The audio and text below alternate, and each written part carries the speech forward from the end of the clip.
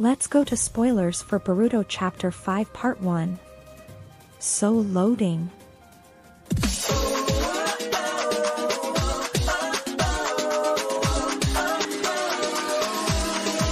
Hello, everyone, welcome to the channel. And we have a spoiler, or a possible spoiler for Chapter 5 of Boruto, but before we get into the content, don't forget to like, subscribe to the channel, and ring the bell, that way, you won't miss any new videos around here. And let's get into the content of this video. Yes, we are still on the 14th, but a page from chapter 05 of Boruto 2 Blue Vortex has leaked. It's a single page, but it tells us a lot about the direction the chapter may take. In this spoiler, we see Boruto and Sasuke talking. Boruto is already a bit older. In the conversation, Boruto says something like, Master. Of course, it's my style, the Uchiha clan style. But I'll be honest. I'm still not a complete ninja.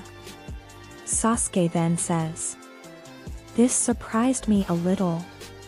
The translation is not 100% accurate, but it's something like Sasuke being surprised by Boruto in some way. Everything indicates that we will have a flashback of Boruto and Sasuke, as I mentioned in my prediction video. Finally, we will see a bit of the time Boruto spent with Sasuke, as we saw here, Boruto was already using a sword, so Sasuke was probably already teaching him the art of the sword. Boruto is a bit older, is this one year after they left Konoha?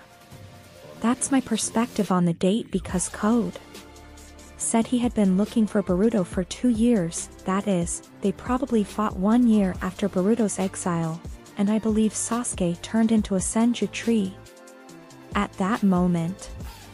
It remains to be seen how much flashback we will have in this chapter, if it will be all flashback or just some memories of Boruto.